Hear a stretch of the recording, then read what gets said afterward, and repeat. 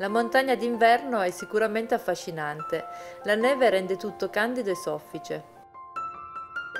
Nel manto nevoso si celano dei segreti che solo un occhio esperto può cogliere.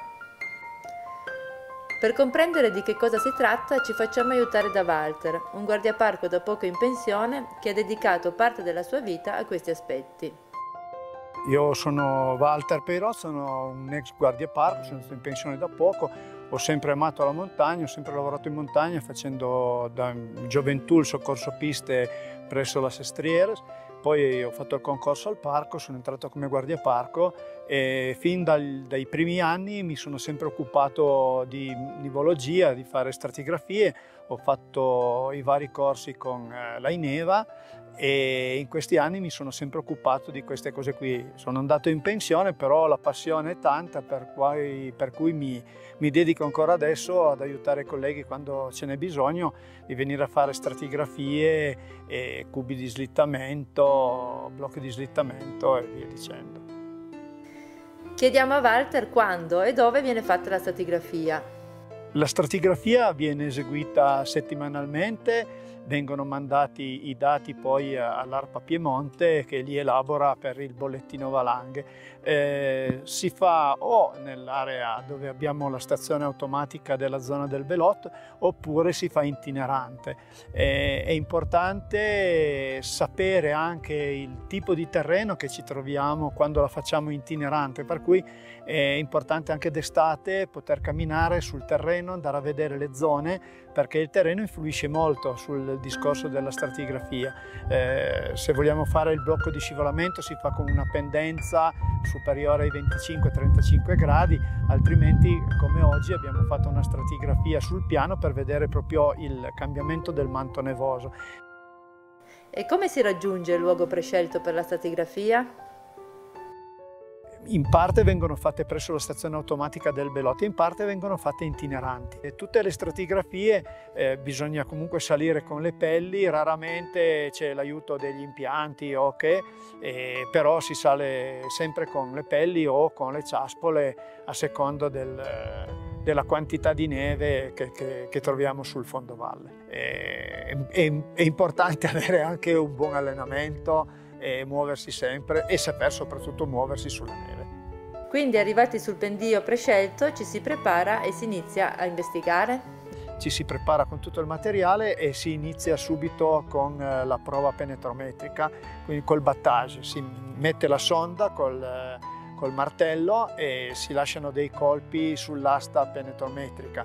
L'asta penetrometrica, a seconda del tipo di neve, entra piano piano nel manto nevoso bisogna fare molta attenzione alle, alle, croste che ci sono all'interno, ci possono essere delle croste da fusione rigelo e, e quindi bisogna fare molta attenzione con dei piccoli colpi eh, per, per la, per, sull'asta nivometrica. Eh, una volta finita la prova penetrometrica, quando l'asta è sul suolo, si inizia a scavare, si fa una buca sempre con eh, l'asta penetrometrica eh, in ombra, quindi noi la faccia al sole e parte scavata eh, deve essere assolutamente in ombra perché altrimenti il sole modifica immediatamente il manto nevoso. Mentre si fanno queste operazioni occorre non dimenticare di prendere la temperatura dell'aria. Poi iniziano ad analizzare gli strati, si mette subito il termometro perché in quel momento eh, come la neve è aperta al, all'aria si modifica la, la, temperatura della neve, per cui c'è bisogno di un termometro eh, molto rapido con una sonda lunga, si mette nel, nel manto nevoso ogni 10 cm e, e, si fa la temperatura della, della neve fino giù al suolo.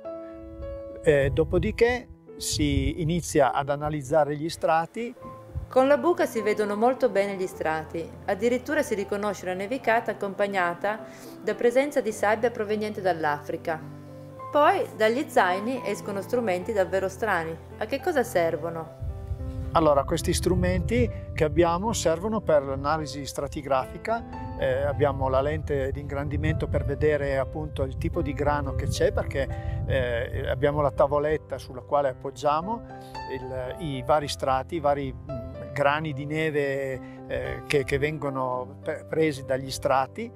Possiamo trovare eh, delle croste da fusione rigelo, eh, possiamo trovare, dipende anche molto molto dal, dal, tipo di stagione in cui andiamo a fare la stratigrafia. Sicuramente dopo una prima nevicata, una seconda nevicata in, al mese di dicembre avremo dei grani piccolissimi, neve molto soffice, neve che pesa poco, con eh, una resistenza minima, mentre in, eh, in primavera abbiamo delle resistenze più forti per via delle croste di ghiaccio e, e la neve è sicuramente molto più umida, molto più pesante.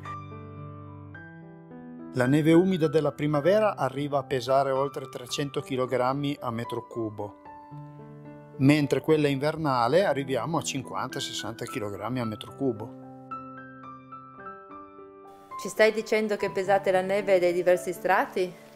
Sì, si pesa la neve perché eh, noi sappiamo che in base al, peso della neve sappiamo anche il quantitativo di, di acqua che c'è all'interno, ne vediamo le resistenze e, e, soprattutto il peso, perché poi eh, quando si formano le valanghe, questa neve qui fa tutte valanghe a blocchi che sono molto molto pesanti.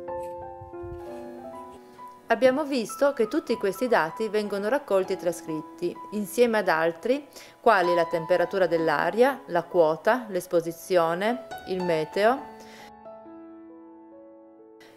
La buca poi viene richiusa. A questo punto che cosa si fa? Allora, finita la stratigrafia, eh, si ridiscende a valle eh, sperando che la neve sia, il manto nevoso sia bello in modo da poter godere dopo la salita, godere almeno di una discesa in neve fresca o in neve primaverile trasformata e altrimenti si fatica e si fa soprattutto attenzione a non farsi male.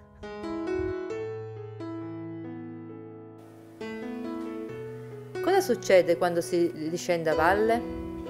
Arrivati di nuovo in sede, tutti questi dati vengono inseriti in computer e mandati alla Ineva che ne elabora, fa l'elaborato per le valanghe. In questi anni sono state fatte centinaia e centinaia di, di stratigrafie. Io ho poi curato eh, per i comuni di Pragelato, eh, Ussò, Fenestrelle e Rur la carta valanghe eh, dal 1994 aggiornandola sempre annualmente.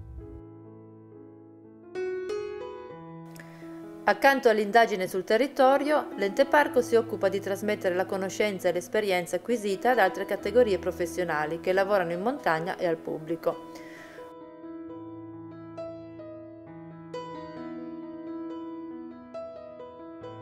Un bagaglio di conoscenze che può aiutare a trascorrere in sicurezza una splendida giornata.